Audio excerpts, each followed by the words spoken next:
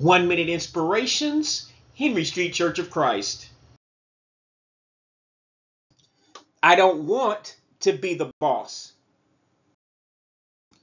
Come unto me, all ye that labor and are heavy laden, and I will give you rest. Take my yoke upon you, and learn of me, for I am meek and lowly in heart, and ye shall find rest unto your souls. For my yoke is easy, and my burden is light. Matthew chapter 11, verse 28 to 30. King James Version. With great power comes great responsibility is a popular saying that goes hand in hand with the other popular saying being, be careful what you ask for. I have been guilty, as others, of being overly ambitious and taking on more responsibility than I could handle.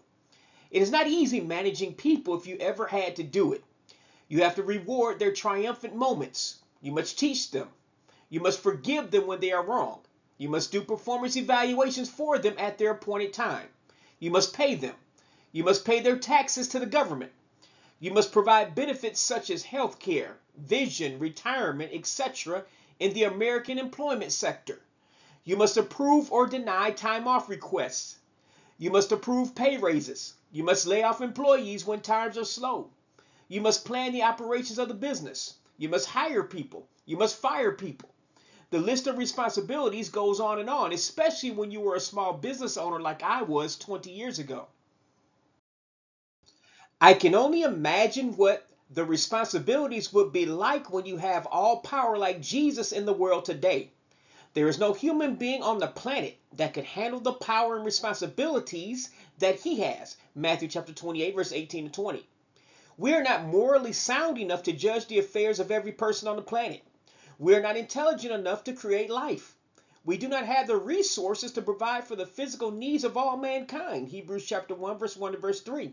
And we certainly do not have the intelligence, knowledge, or wisdom to guide a people to salvation and its resultant heavenly glory. John chapter 14, verse 1 to verse 2 and verse 6.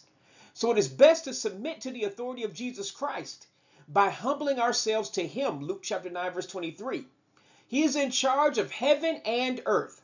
Let's bow down to Him for daily guidance and eternal salvation. We cannot provide these things on our own. We are ill equipped for the job. If you have not made Jesus Christ the head of your life for salvation, don't delay another day.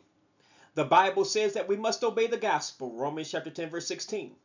This is done by being exposed to, believing, and adhering to the Word of God as delivered to us in the New Testament of the Bible.